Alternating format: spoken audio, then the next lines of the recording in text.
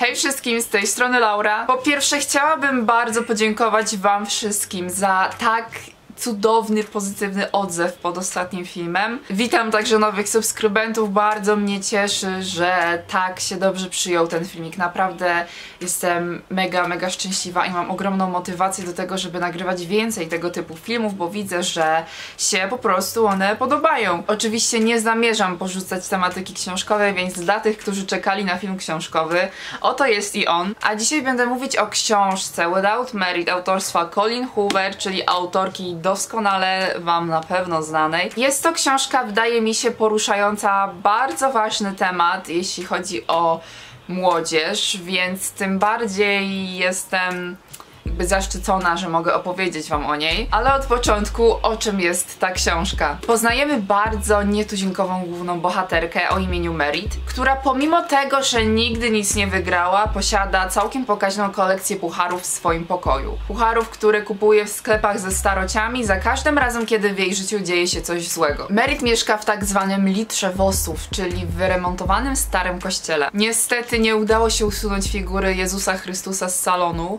e, który kiedyś nie był salonem, dlatego Merit za każdym razem na różne okazje przebiera Jezusa Chrystusa za na przykład fana baseballu albo świętego Mikołaja. Ona właściwie nie ma niczego złego na myśli, tylko po prostu czeka, aż ktoś zwróci uwagę na to, że ona cokolwiek zrobiła w tym domu i że w nim jest. Niestety każdy z członków jej rodziny jest zbyt zaabsorbowany swoim życiem, żeby w ogóle zwrócić uwagę na to, że w tym domu coś się zmieniło i że Merit cokolwiek zrobiła. Między innymi jest to jej idealna siostra bliźniaczka Przesadny perfekcjonista brat Uta, ojciec, który wraz z nową małżonką, a jednocześnie byłą kochanką Wiktorią, wychowuje kolejne dziecko e, małego Mobiego. A w piwnicy mieszka druga Wiktoria, a właściwie to pierwsza Wiktoria, ponieważ jest to e, pierwsza jego żona oraz biologiczna matka pierwszej trójki dzieci. Generalnie rzecz ujmując, ten dom i cała ta rodzina skrywa mnóstwo niewyjaśnionych tajemnic między sobą, a największą wiedzę na ich temat posiada Merit, którą po prostu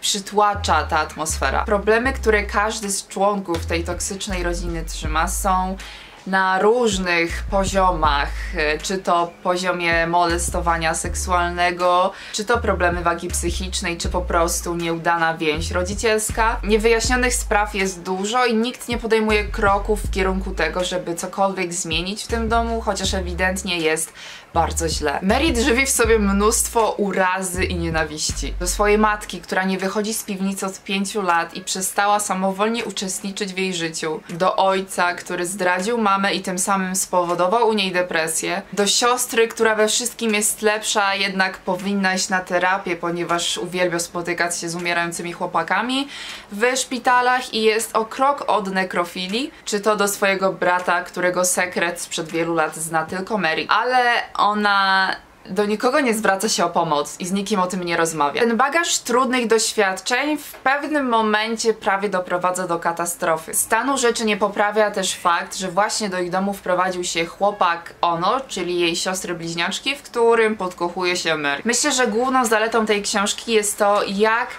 dobrze odwzorowany jest tutaj taki typowy obraz zaplątanej w swoim życiu nastolatki. Myślę, że większość młodych dziewczyn może się chociaż w małym stopniu utożsamić z Merit, ponieważ to nie chodzi tylko o to, co ona przeżyła i to, że może któraś z was też miała podobne problemy, ale o sposób, w jaki Merit sobie próbuje, a raczej nawet nie próbuje z tym poradzić. A mianowicie to, że ona bagatelizuje to, kiedy słyszy historię powiedzmy bardziej teatralną od swojej, wydaje jej się, że jej problemy nie są na tyle ważne, żeby ktokolwiek miał się nimi przejąć i nimi zająć, żeby w ogóle komukolwiek o tym mówić. Zaczęła po prostu bagatelizować wszystko, co się wokół niej dzieje i to w pewnym momencie po prostu doprowadziło do yy, no tragedii. Ta książka zwraca uwagę na pewien problem dotyczący ignorowania pierwszych objawów depresji u nastolatków, usprawiedliwiając te zachowania byciem nastolatkiem. Ta powieść porusza też kwestię przyrównywania swojej sytuacji do czyjejś sytuacji, jakby swojego bagażu,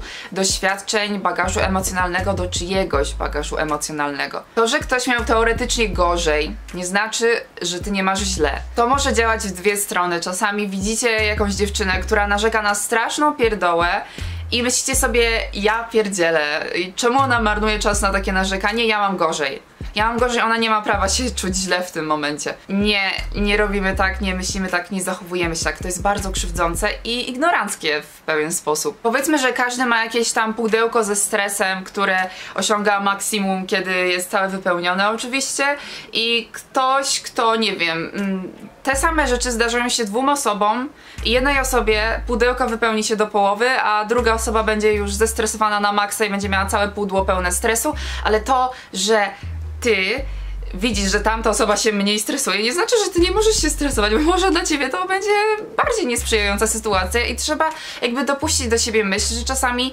dobrze jest pomyśleć, że coś rzeczywiście jest nie tak i trzeba coś zrobić, trzeba podjąć jakieś kroki w kierunku polepszenia sytuacji. Z tym problemem właśnie mierzy się Merit, z takim poczuciem moje problemy są nieistotne, bo jego historia brzmi gorzej. To jest bardzo niepoprawne myślenie. Pamiętajcie, że to wszystko jest kwestią indywidualną i każdy przeżywa przeżywa różne sytuacje na różne sposoby i nie można tego przyrównywać do siebie. Dlatego jeśli twoja najlepsza przyjaciółka pokłóci się ze swoją mamą i będzie przez to płakać dwa dni, nie będzie chciała wychodzić z domu, a ty pokłóciłaś się z mamą 10 minut temu masz to w dupie, to nie bagatelizuj tego, że ej stara, bo właściwie to nic się nie dzieje, tylko porozmawiaj z nią, bo widocznie ona się źle czuje i to, że się ktoś źle czuje z tego powodu już jest tym czynnikiem, który powinien wpłynąć na to, że pomyślisz coś jest nie tak muszę jej pomóc. A nie umniejszanie problemu dlatego, że ty się kłócisz ze swoją mamą i nie masz z tym problemu. Może ona ma problem, ale ty też nie powinnaś się kłócić ze swoją mamą tak swoją drogą.